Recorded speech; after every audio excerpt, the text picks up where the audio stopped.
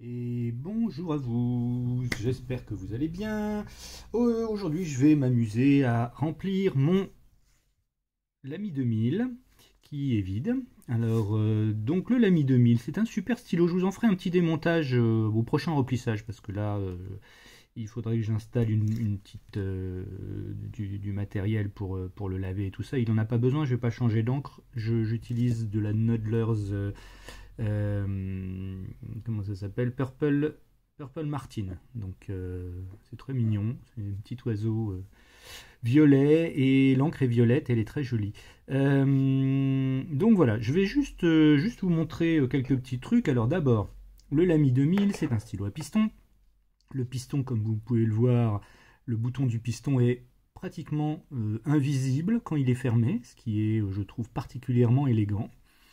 Et euh, il a une, fenêtre de visualisation que là on devine à peine et que même avec une lampe on peut difficilement utiliser euh, pour voir vraiment le niveau d'encre. Alors comme vous pouvez voir peut-être, non vous voyez pas, pas plus que moi, euh, bah, il n'y a plus d'encre dedans. Donc, donc je vais le, le, remplir. On va voir comment ça fonctionne. et puis voilà, donc qu'est-ce qu'il faut? Il faut bien sûr un chiffon voilà, je vais prendre un petit bout de, sopalin. Euh, un chiffon pour essuyer ensuite, puisqu'on va tremper l'extrémité euh, dans l'encre. Et puis on va, euh, on va faire ça. Donc comme c'est la même encre que je, que je mets dedans, celle qui est déjà dedans, je vais d'abord ouvrir, tourner le... Alors est-ce qu'on peut voir là? Ah, c'est compliqué. je vais tourner le bouton. C'est flou.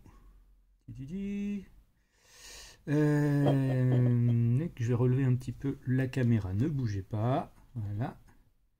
Pour qu'on voit un petit peu mieux ce qui se passe. Voilà. Hop. Bougez pas. Alors, le, bouton de remplissage euh, tourne dans le sens inverse des aiguilles d'une montre pour, euh, pour être ouvert et vidé. Donc, donc c'est toujours pas suffisant.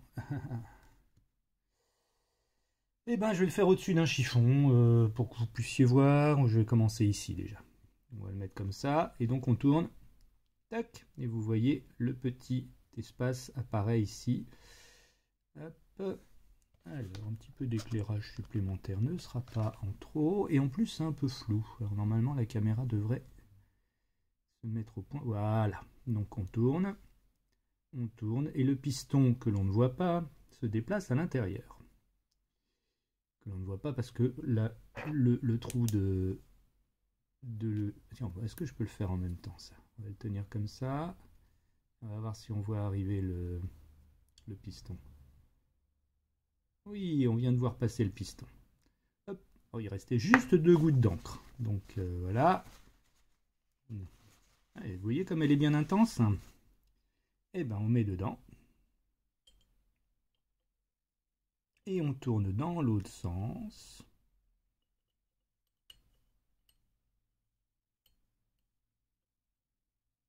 Jusqu'au bout.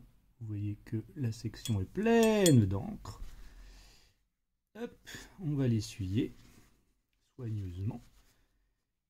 Est-ce que je vais réussir à pas m'en mettre sur les doigts? Pour l'instant, j'en ai pas.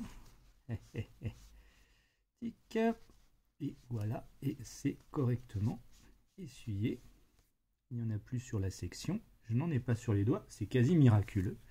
Et le stylo est plein. Alors, euh, est-ce qu'on voit quelque chose de mieux ici? Bon, pas tellement. Hein. Vous pouvez voir la section et la, comment dire, la fenêtre de visualisation ne permet pas de visualiser grand-chose. C'est très joli euh, d'en avoir une. Moi, j'aime bien l'idée qu'il y en ait une, mais euh, alors, première chose à faire une fois qu'on a rechargé le stylo, c'est bien sûr de refermer le flacon d'encre. Alors ça, c'est le genre de catastrophe à éviter absolument.